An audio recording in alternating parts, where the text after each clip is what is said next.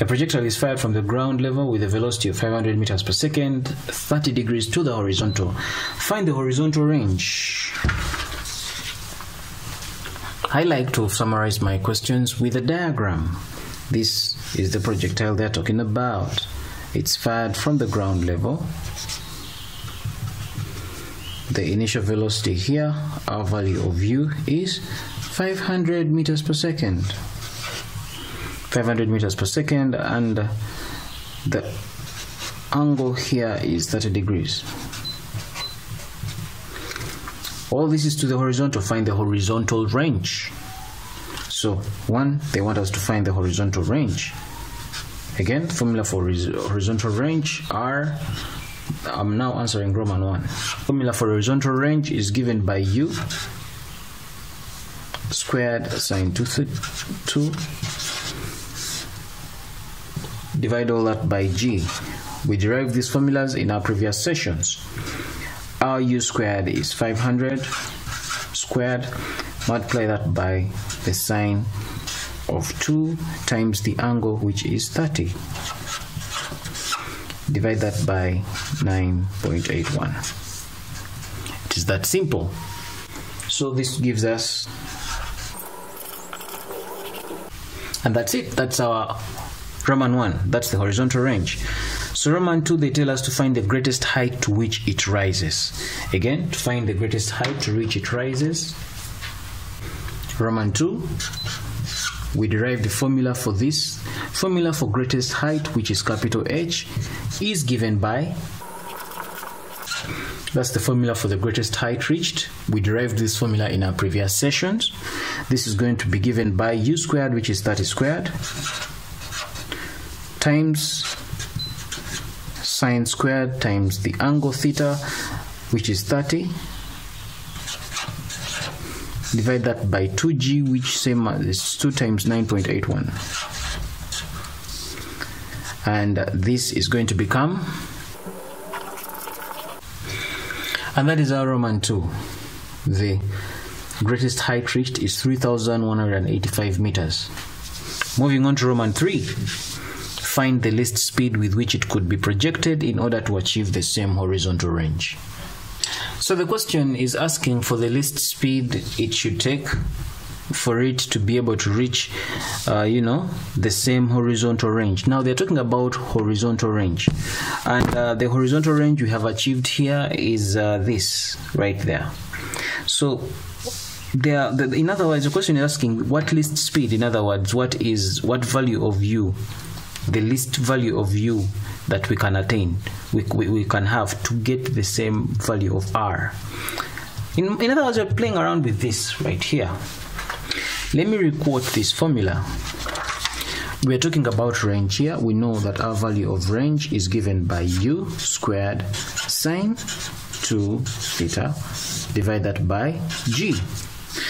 The question says find the least speed, find the least value of u, you know, the least speed. Find the least speed with which it could be projected in order to achieve the same horizontal range.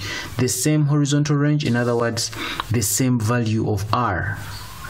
Let's make you the subject of this formula because we want to find this, the least value of this. So when we make you the subject of the formula, um, here it becomes our value of u becomes g times r divide that by sine 2 theta. This is u squared yeah?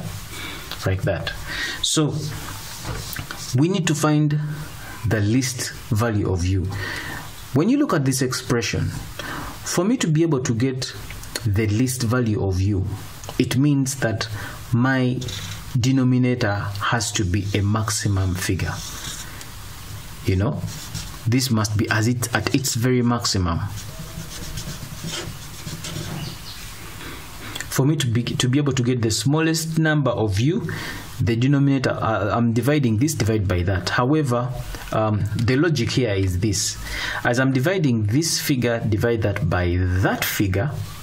As I'm dividing these two, the bigger this figure, the smaller the answer I get. if this becomes smaller and smaller and smaller while this one is remaining constant. If this becomes smaller and smaller and smaller, it means I'll be getting a bigger and bigger and bigger answer. However, if this figure is constant and this new uh, denominator becomes bigger and bigger and bigger, the bigger this denominator becomes, then the smaller my answer will be. You could go and try it out with a fraction or we could even try it out now if I am having 10 over 2 10 over 2 is equal to 5 if I increase this denominator to a higher number I say 10 over 4 the answer I'm going to get is 2.5 if I continue and say what is 10 over 6, I'm going to end up with 1.66. From this simple illustration, what you're able to see is that as I keep increasing the denominator, I mean, when, as I keep increasing the denominator, my answer here becomes smaller and smaller. The bigger the denominator, the smaller the answer I get.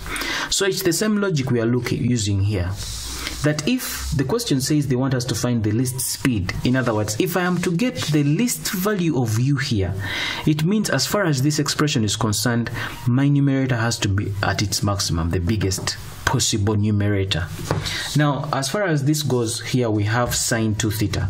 That is what is in our numerator. And the maximum value of sine 2 theta is 1. Again, how am I able to find one? These are details in the topic called trigonometry. By the time you are doing this topic, the one of the prerequisites is that you must have covered trigonometry in your class. On this channel, trigonometry, the topic is yet to be covered. So, this means that u squared here is going to become g times r divide that by this is equal to 1 that's the maximum value of sine 2 theta. It is 1 that is coming from trigonometrical theories.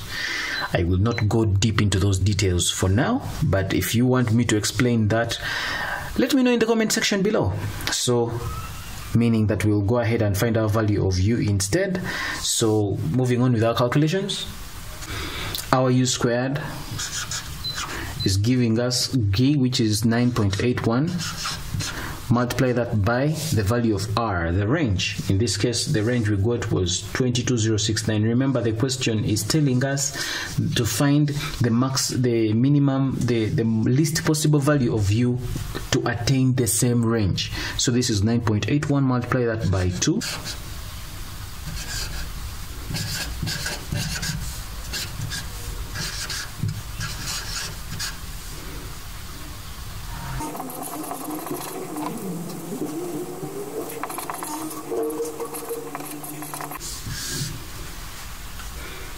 And so that's the answer right there. So with that, we've been able to answer that question. In our upcoming session, we get to do another worked example on projectile motion. Like this video if you like it. Don't forget to subscribe if you've not yet subscribed. Check out other videos on the channel. Remember to share this with your friends. My name is Arnold Rangakuramia and this is Kisembo Academy. Take care.